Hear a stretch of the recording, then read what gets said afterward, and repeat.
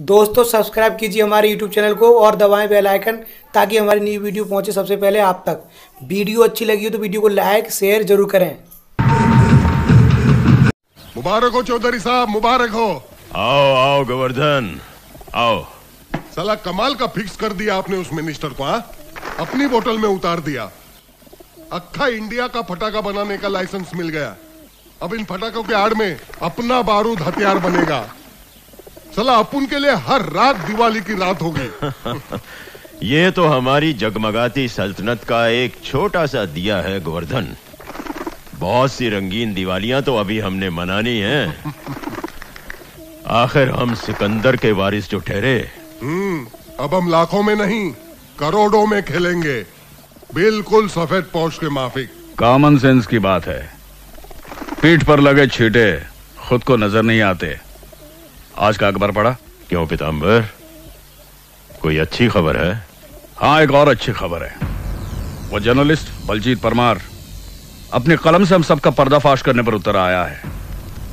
लिखता है गजराज चौधरी मौत का सौदागर है। नशीली दवाइयाँ नाजायज हथियार बेचने वाला देशद्रोही है। देशद्रोही? अरे भाई मैं तो देशभक्त हूँ किसान हूँ। गेहूँ और चावल के साथ साथ चरस और गांजा भी उगाता हूँ जिसे बेचकर फॉरेन करेंसी लाता हूँ। मैं तो अपनी भारत माता को सोने के पंख लगा रहा हूँ।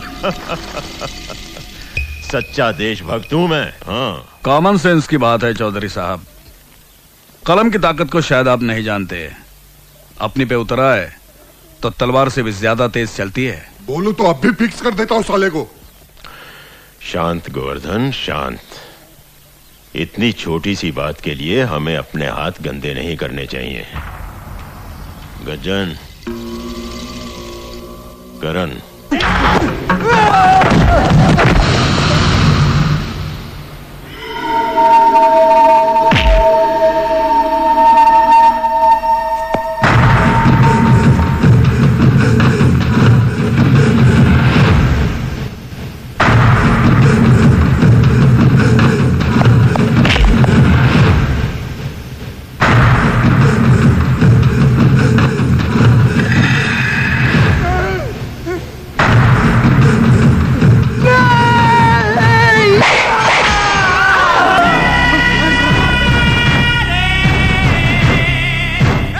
तूने कुछ देखा?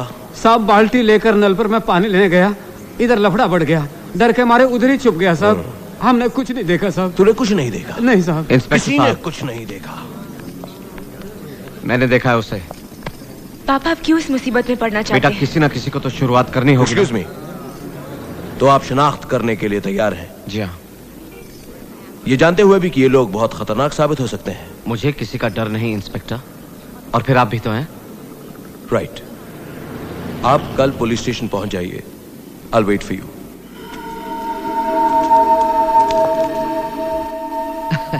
बेटे जब तू छोटी बच्ची थी ना तो तेरी माँ ने एक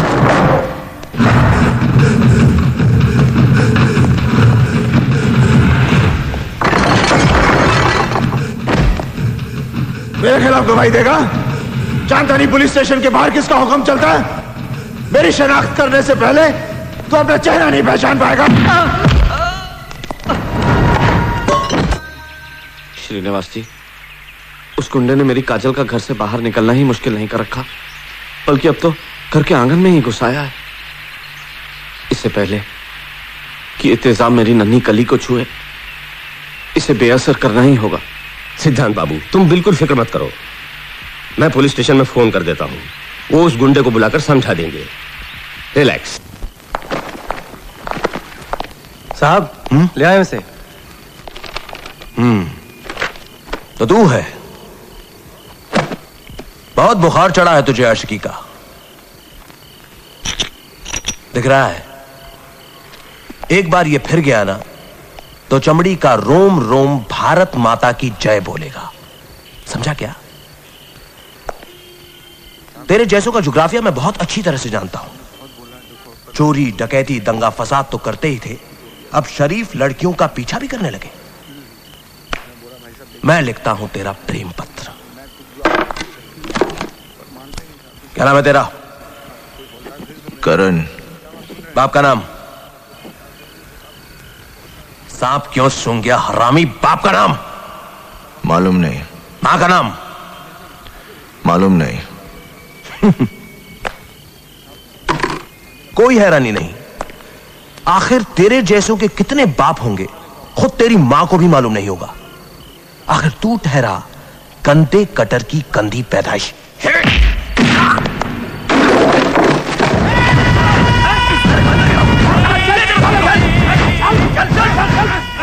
पुलिस पर हाथ उठाया तूने।